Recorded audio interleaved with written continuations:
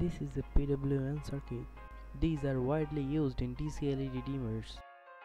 To make this PWM circuit, we're going to need a LED, two 1 kilo ohm resistor, one 220 ohm resistor, TIP41 bipolar transistor, 100 kilo ohm potentiometer, IC245 the height of the project, 50 nanofarad capacitor, 0.1 microfarad.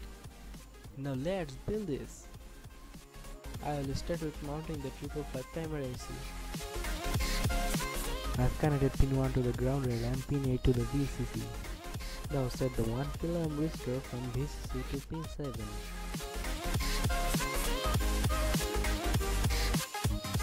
Now mount the potentiometer on the breadboard. Now make a bridge of rectifier the two divider legs of the potentiometer and make a connection to the pin 7. Connect the output leg of the potentiometer to the pin 2. You can reverse the process by connecting the output to the pin 7 and bridge to the pin 2. Now set the 15 nanofarad capacitor from pin 2 to the ground.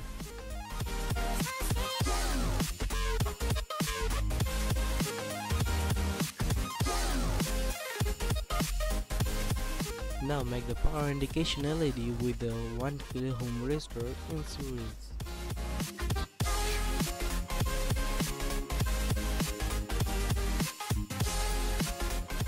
Now we are going to connect the pin 3 or output of the 555 timer to the base of the transistor.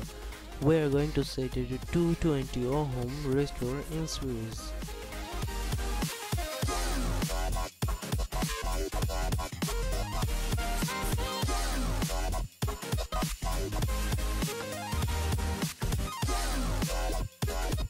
Now connect the emitter pin of the transistor to the ground.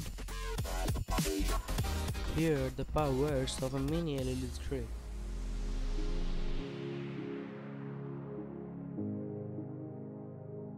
Connect the ground wire of the strip to the collector pin of the transistor and the positive wire to the positive rail.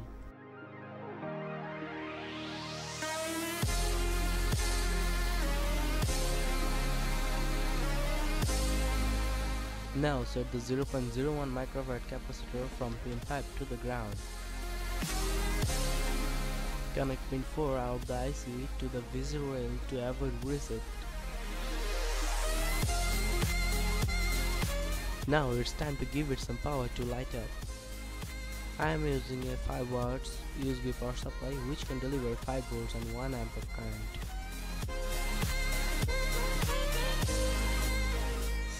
We can control the brightness easily. The transistor here will not generate heat, that means no power loss.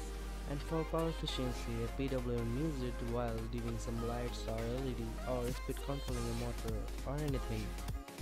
Here's all, share this video, don't forget to subscribe for future updates. Awesomeness waiting, be creative and make things awesome. Thank you everyone.